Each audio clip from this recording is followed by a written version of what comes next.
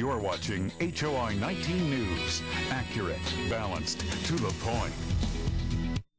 Experts say there are thousands of people here in the heart of Illinois who have a bleeding disorder and don't even know it.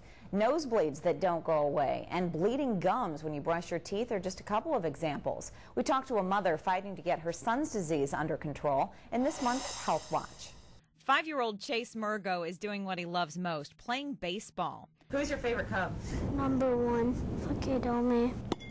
It's one of the few sports he can play. Chase has a bleeding disorder called von Willebrand's disease. Your elbow would hit him. He'd be fine during the day, but that night he would have a nosebleed because of the bump to the head.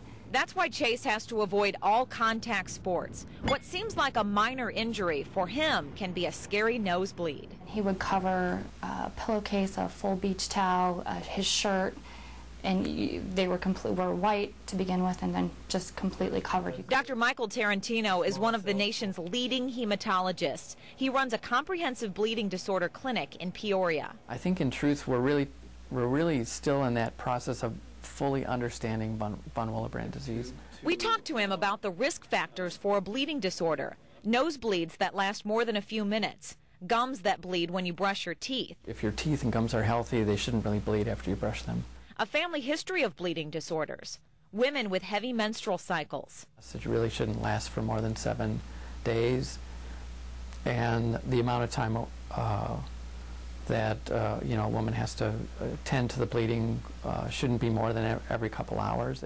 And women who become anemic during menstruation. Dr. Tarantino estimates there are around 3,000 people in the heart of Illinois with von Willebrand's disease, like Chase, and many of them don't know it. If those people are in an accident, have surgery, or have a tooth pulled, it could lead to passing out, infection, or even death.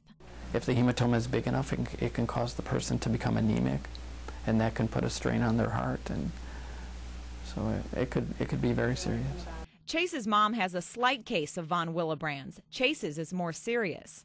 In the beginning, he was terrified would kick and scream. It would take seven of us to hold him down to draw blood. And Chase is handling the disease like a pro. He now carries his $700 medical nasal spray with him in a cooler in case of an injury. It's something other people don't have to do, but just knowing he's protected is a relief it's a lot of the same things. I mean, he's going to have this for the rest of his life, and we'll just educate, and he'll know what to do and lead a completely normal life. We don't. And this little baseball fan already has a goal in life to play baseball on TV. That dream came true today.